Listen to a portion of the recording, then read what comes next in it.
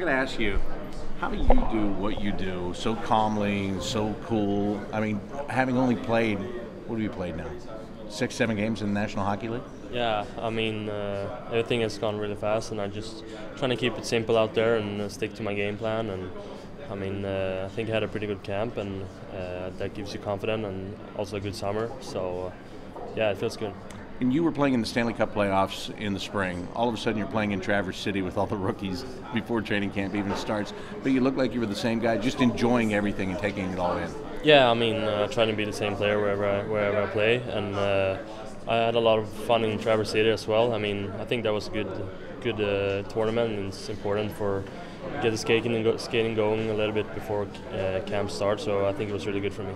And for you, is that kind of a you know a reminder that hey, just because I played against the Penguins in the playoffs doesn't mean that I'm guaranteed to come in here and lock down a spot. Yeah, of course. I mean, uh, this is a really, really good league. A lot of good players, so you got to be, be sharp out there and uh, just trying to develop uh, as much as possible whenever you're whenever you're on the ice, even if it's uh, with your rookie tournament or it's here in the NHL. So, yeah. How fun was that experience for you last night? You and your teammates to do what you did to the New York Islanders. Yeah, I mean it was uh, a lot of fun out there. Get the get the first win of the season, and uh, I think we, we played a really good game, and uh, but it's a new game today, and we, we got to be make sure we we're, we set the bottom and, and, go from there. Yeah, I wanted to ask you about today's game because you go back to the playoffs, you played against some really skilled forwards. You're going to see a bunch of them again here tonight, uh, Toews and Kane and Saad and, and all those guys. Um, you have to raise your game at all, or do you feel like your game is your game and it's pretty good? Uh, no, I think it's been uh, pretty good. I mean, as you still still can do better. I think uh, work on my consistency a little bit and yeah, I think this this game is going to be a little bit tougher today than, than last game, but I think I think we're ready and we're a good team as well, so it's going to be fun.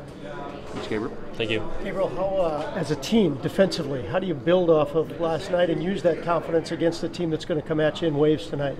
Uh, I mean, just keep it keep it simple from with the puck and go from there. And uh, I mean, we have a lot of lot of good guys defensively as well, same as offensively. So try to work together as a team and uh, be be sharp around the blue lines and don't give them too much uh, chances. How much different is the approach, or is it the same? You just keep it the same regardless who might be on the other side.